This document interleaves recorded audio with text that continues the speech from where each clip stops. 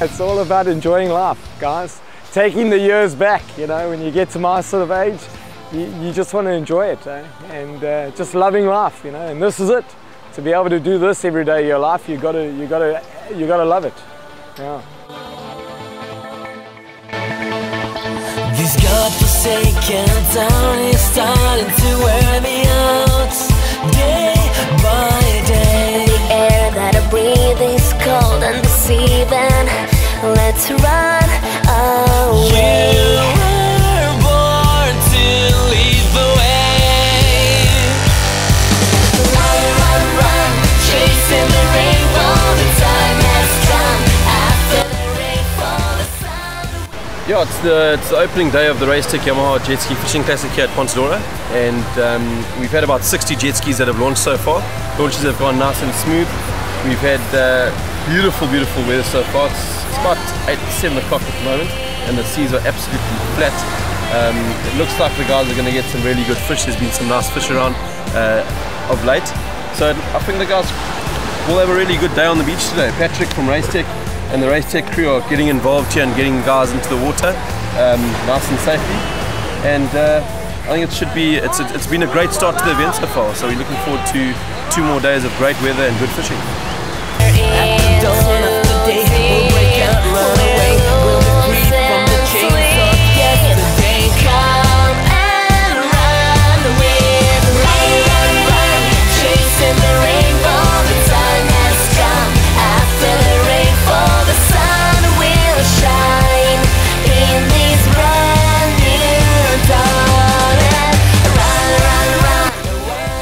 And and I mean it's awesome what how the guys um, put the the comp together, the rules. Um, it's a catch and release event, so so um, basically the the fish are the fish are weighed in the gunnels um, of the skis.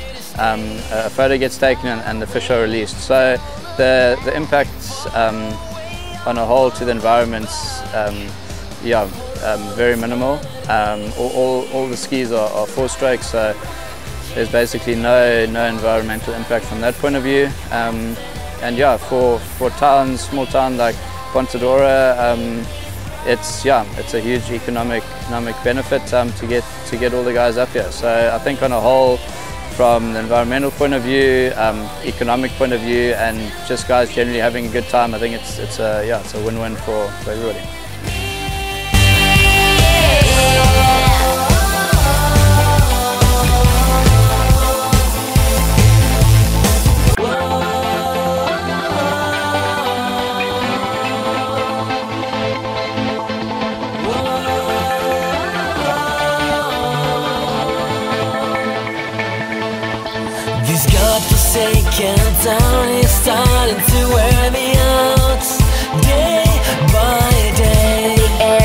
Breathe is cold and deceiving.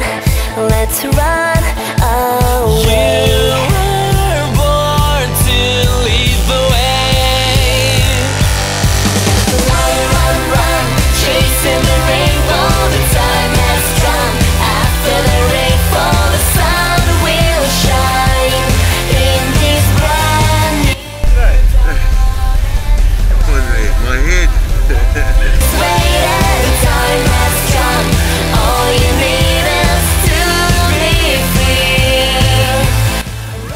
free. Ponta do Ouro in general is a, a great place to fish.